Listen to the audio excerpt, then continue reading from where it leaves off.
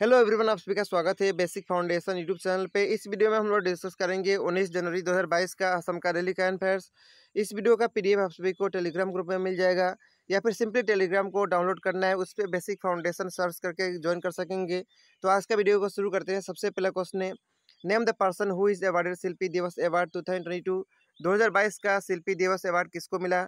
शिल्पी दिवस मनाया जाता है सत्रह जनवरी को और इस बार जो अवार्ड मिला उनका नाम है अपर्णा। गुजर बरुआ और पुलक बनर्जी। तो इस क्वेश्चन का सही आंसर हो जाएगा ऑप्शन नंबर डी। इसके बाद नेक्स्ट क्वेश्चन है recently which state has been awarded the first prize in third national water award in the best state category उस स्टेट का नाम है उत्तर प्रदेश। तो इस क्वेश्चन का सही आंसर हो जाएगा option number C, Uttar Pradesh का कैपिटल लखनऊ है। यहाँ पे जो सीएम है, उनका नाम है योगी आदित्यनाथ। यहाँ पे जो गवर्नर है, उनका नाम है आनंदीबेन पटेल। और इसको सबसे पहले नेशनल वाटर अवार्ड को लॉन्च किया गया था 2018 में जल शक्ति मिनिस्ट्री के द्वारा। इसके बाद नेक्स्ट क्वेश्चन है India oldest sloth bear Gulabo die at Bhopal Van Vihar national park as per आयुसियन the sloth bear come in which of the following list. तो स्लोथ बियर किस लिस्ट के अंदर आता है? इनमें से वेलरेबल लिस्ट के अंदर आता है। तो इस क्वेश्चन का सही आंसर हो जाएगा ऑप्शन नंबर ए आयुसियन का फुल फॉर्म क्या होता है? International Union for Conservation of Nature इसका फुल फॉर्म होता है। इसके बाद नेक्स्ट क्वेश्चन है recently who become the first person in the world to get a heart transplant from a genetically modified pig उनका नाम है डेविड बेनेट। तो इस क्वेश्चन का सही आंसर हो जाएगा option number D USA country से बिलोंग करते हैं।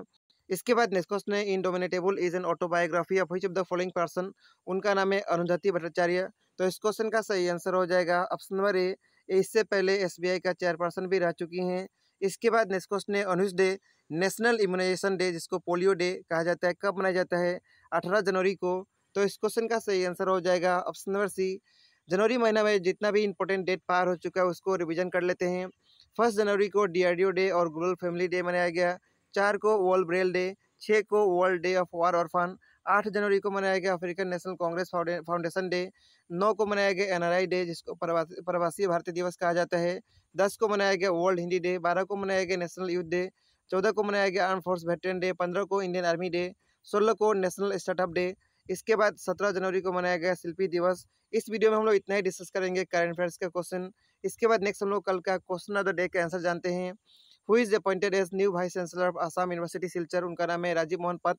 तो इस क्वेश्चन का सही आंसर हो जाएगा ऑप्शन नंबर सी आज का क्वेश्चन ऑफ़ द डे का क्वेश्चन ए रहा। इसका सही आंसर आप सभी को कमेंट करके बताना है। इस वीडियो का पीडीएफ आप सभी को टेलीग्राम ग्रुप में मिल जाएगा। तो मिलेंगे नेक्स्ट वीडियो में।